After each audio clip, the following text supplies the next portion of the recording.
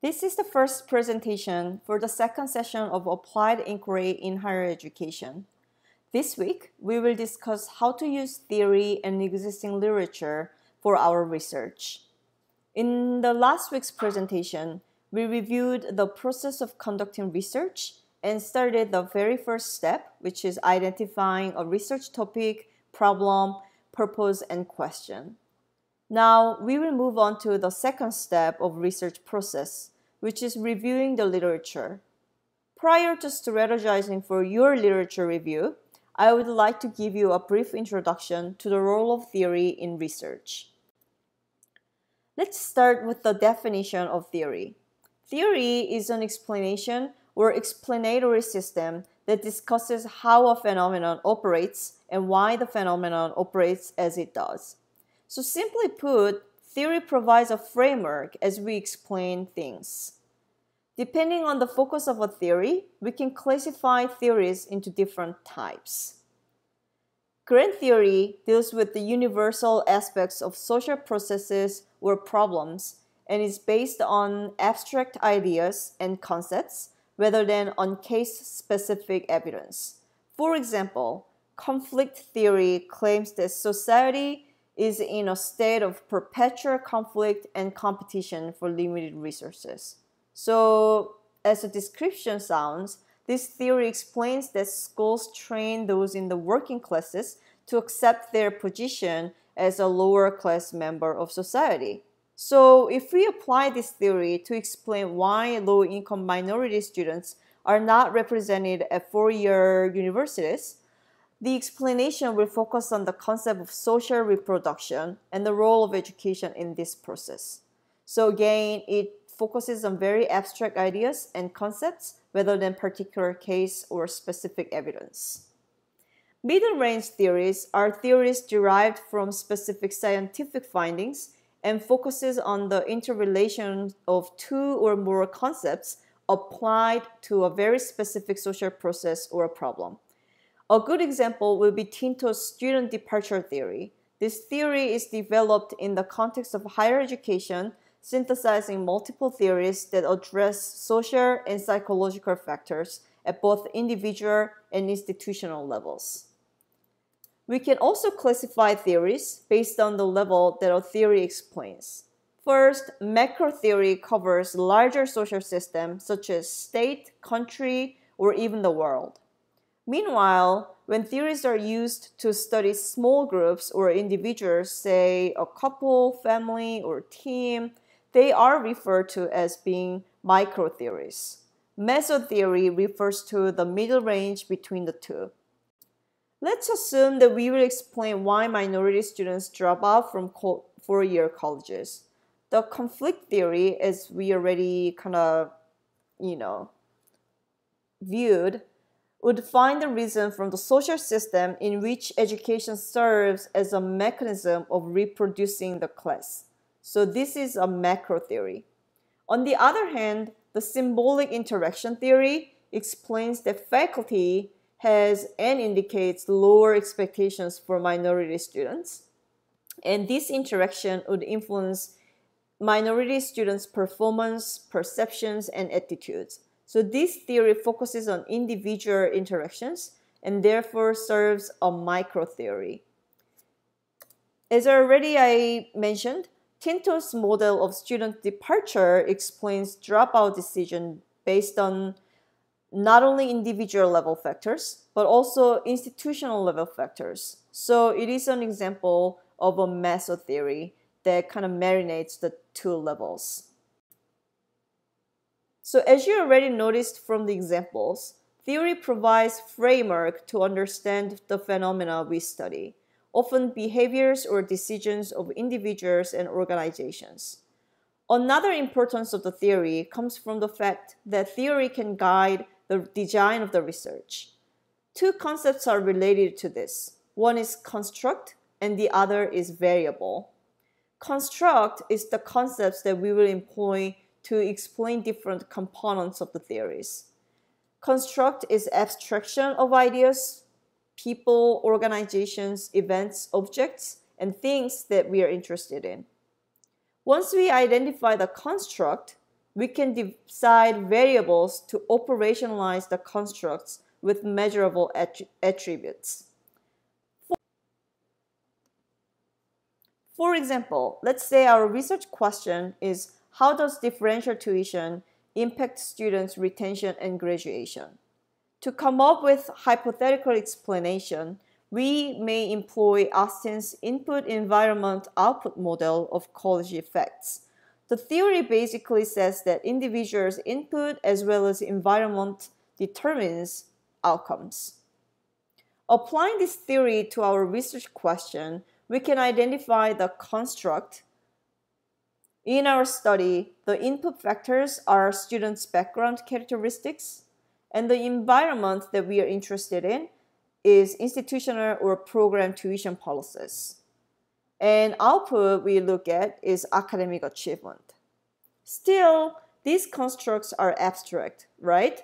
Now, to operationalize these concepts, to collect data and analyze those data in our research, we have to come up with variables. Based on our constructs, we identified variables for its concepts. So students' characteristics can include race, ethnicity, socioeconomic status, and first-generation status of individual students. Institutional or program level tuition policy can be operationalized as A, if the program has differential tuition, and B, how much the differential amount is. Finally, academic achievement in this study can be measured by retention and graduation and as we discussed in previous week, quantitative research and qualitative research use theory very differently. First, in a quantitative research, theory is something that is tested. So based on theory, researchers will come up with hypotheses or propositions that describe how constructs are related. Let's apply this to our example study, the effect of differential tuition on students' choice of major, retention, and graduation. Remember this? The human capital theory explains that when price goes up, demand goes down. If we apply this simple theory to the study, we will hypothesize that tuition increase in certain programs or majors will lead to a decrease in enrollment or retention and graduation outcomes in those programs and majors.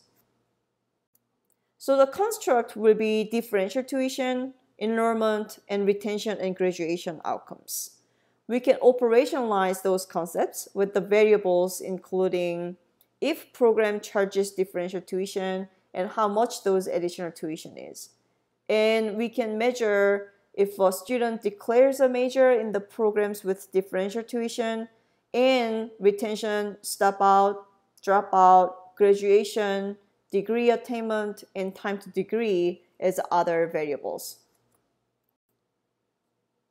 In qualitative research, there is something that is generated from the observation and interpretation of individual cases. So if we study the same problem from a qualitative perspective, we would pursue research questions that focuses on students' perception on the policy and their relevant experiences. Let's assume that we collected data by interviewing students who are in the programs that charge differential tuition. Then we will come up with some distinctive patterns from the data.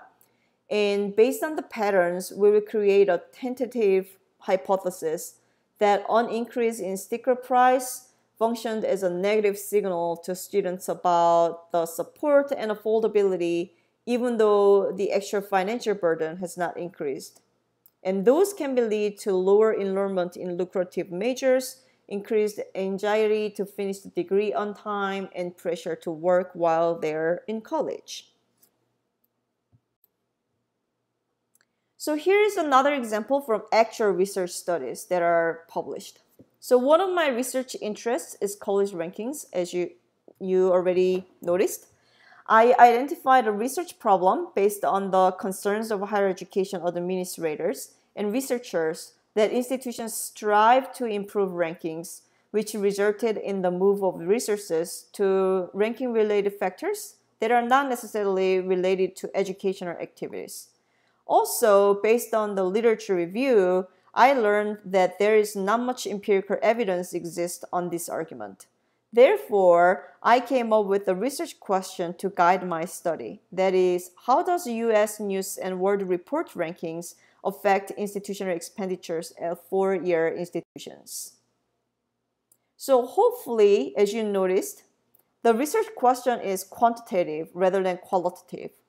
So my approach will be more deductive rather than inductive.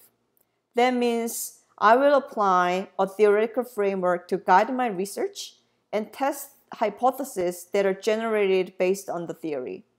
So I applied institutional theory, which explains that organizations will comply with the powerful system that defines what legitimate organization should look like in the field. Based on the theory, I hypothesized that universities will increase expenditure on the areas that rankings measure when the system of ranking is introduced. So the constructs are rankings and expenditures. Still somewhat abstract, right? And now the variables are if an institution is ranked or not, as well as per full-time equivalent student expenditure on different activities. So you see how the design aspect of the study has been formed by the theory that I employed. Meanwhile, Gardner 2010 investigated somewhat similar topic, the influence of rankings on higher education institutions from a qualitative approach. This study is based on observations at one research university, and researcher collected data from interviews with doctoral students and faculty in six di disciplines. The researcher then identified the patterns from the data. Rankings make faculty to focus on and dissatisfied with the lack of resources and student quality when they feel pressure to improve their ranking position. On the other hand, students feel that their departments care more about image and faculty quality rather than student supports and experiences. So the tentative hypothesis is that when institutions seek to improve rankings, the culture of the institutions change and faculty feel stress while students are not satisfied with their experiences. Again, this presentation was to give you a better idea about how theory provides framework as well as empirical guidance to a research study. Although you do not need to employ a theory for your research project in this course, understanding the role of theory in research will be helpful as you read and use others' research. If you want to know more about theory, read the chapter from Creswell 2009 that is uploaded to the Blackboard Supplemental Resources folder. Okay then, let's move on to literature review.